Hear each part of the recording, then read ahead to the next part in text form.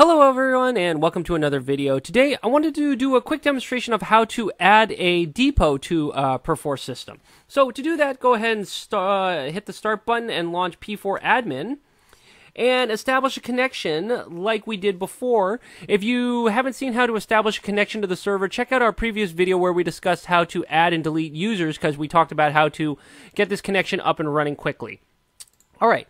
So now that we've got this uh, connection to our server, we can see that, all right, there's plenty of disk space, so we should be able to add uh, another depot to the Perforce system with no problem. So the first thing we need to do is create a brand new blank depot. So to do that, I'm just going to come up here to File, New, and come here to Depot. I'll enter a name for the depot here. I don't know, maybe let's call it Westeros, something like that. Just pick a name hit OK, and I want this to be a local depot. So I will go ahead and make sure that the local is selected, and then I'll go ahead and hit OK. All right, and when I do that, I can come over now to the depots tab, and I can see here's all of the depots that are eh, already on the system, on the server, and down here at the bottom is my brand new Westeros depot. Now, notice that all these other depots are already populated with files, right? Things like visual anchoring already has files, uh, you know, Tempest has files, etc., etc. But Westeros is actually empty. That's fine. The very next step we need to do is actually populate this with one or two files to get everything started. So now that we have created this blank empty Westeros depot using P4 admin, uh, I think we're good from the P4 admin side of things. We can go ahead and close P4 admin. All right, so to go ahead and populate that depot, what I want to do is come back again, hit the start menu, and instead of P4 admin, let's launch our normal P4V. Okay, and I will go ahead and connect to that server, and I will pick my workspace as appropriate and my user. All this looks great. Let's go ahead and connect. Again, you may need to input your password here at this point, um, or you may not, depending on when you last logged in. Looks like I don't need to. So, first off, let's go ahead and get any of the uh, latest revisions. And while we're getting revisions, what I want to do here is let's come look at my uh, Perforce root, basically where I'm storing all these files. So that's right here in CDev. And you can see that we don't have the Westeros depot, that new depot yet, because it's not part of our workspace. So what I need to do is come back to P4V. Let me um, maybe uh, expand this a little bit so we can see what's going on. And make sure that you have the Workspaces tab available. If it's not here, you may need to come up here to View Workspaces, and that will get this tab up. So what you can do is make sure you filter down so you can find the current workspace that you're working on. So in this case, it's this workspace right here uh, called LUM, LUM Surface Pro 5, All Depot. So what I need to do is I need to modify this to include that new Westeros Depot. Because again, look down here, it's not listed. So I'm going to come to the, to the workspace, right click on this, and I'm going to edit that workspace. Now what I see is, again, you've got all of these commands, and you can see that I've got all of these depots selected, but I do not have this Westeros one selected. So what I want to do is I'm going to right click on Westeros and I'm going to include this tree.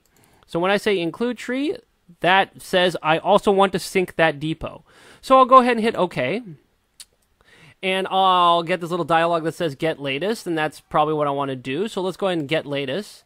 And now at this point, you may get a uh, an error or a note saying down here something like um, P4V or Perforce is unable to resolve the current workspace. I've seen that happen in older versions of P4V. What it's basically telling you is I'm syncing that depot, but if you remember, that depot has no files. And Perforce seems to have this issue um, where you have just empty folders with no files in it. It doesn't seem to like that. So what you're seeing is it doesn't show up here on your list of depots. You can come here and hit refresh if you like, and it still doesn't show up. Okay, so to get around this, this is something that only the first person that initially populates the depot is going to have to do. They're going to have to come to your your workspace root, which is right here, right? We said this workspace, that's root is C uh, dev, and again, notice there's nothing here in Westeros. So what I need to do is I need to go and create a blank folder, and I need to name this exactly the name of the depot I just created. So that was Westeros, like that. Okay, and now what I need to do is I need to put in a single file to initially populate the depot. So what I'm going to do is I'm going to just right click. I'm going to create a new uh, text document. Like this can be anything, like a like a like a. I'll make a to do list. How about? right? And you don't even really need to populate this, right? You could just write anything you want, right? So maybe how about get a pet license for Drogon, uh, get pet food, uh, invite Cersei uh, Lannister over for dinner. See item two. Okay, it doesn't really matter what this is. Uh, let's go ahead and save this file, close it, okay?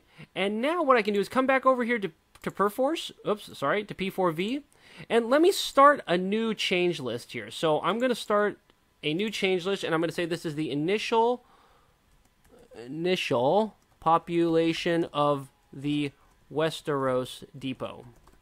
Okay, I'm going to hit save, get myself a number change list, which is right here. And now if I come over to my workspace and I hit refresh, down here, Westeros shows up, and what I need to do is I need to add this file to this change list, okay? And now when I submit this, this will send one file up to the server, and we should have a, a, a Westeros depot with a single file that other people can now sync uh, normally. So I'm going to go ahead and hit submit. Great, that's up on the server now, and if I come over here to the depot workspace, I can see that yes, indeed it is. That one single file is up and running.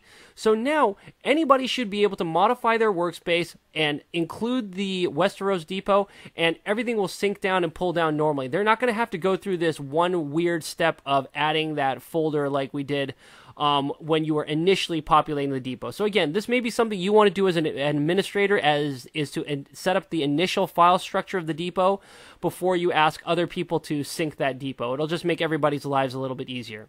So at this point, we've got the new depot up on the server. We've got one file um, in that depot, and other users with uh, from your system will be able to go ahead and sync that depot and use it for work. So, with that being said, I think this is a good spot to leave it. I hope you enjoyed the video, and I hope to catch you at a future discussion. Until then, I'll talk to you later. Bye.